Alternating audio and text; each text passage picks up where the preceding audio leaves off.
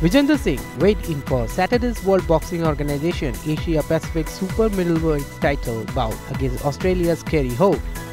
Vijender has a 6-0 win-loss record in professional bouts and this will be his first pro fight in India. He last fought in India during 2010 Commonwealth Games.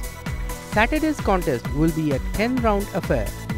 During a media interaction before the fight, Vijender asked people that they should come and buy tickets to watch the match like they used to go to stadium for cricket match always.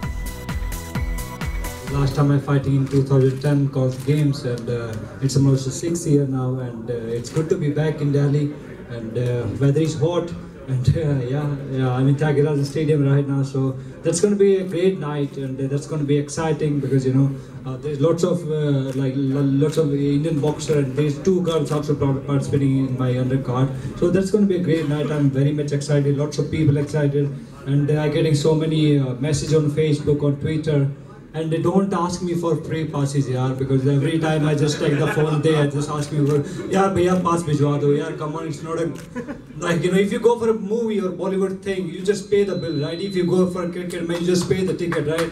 Why don't you pay some money for a boxing match right? You should come and just buy the ticket and BookMyShow and you can just uh, watch it on Star Sports so so don't ask for free passes please don't ask. All right.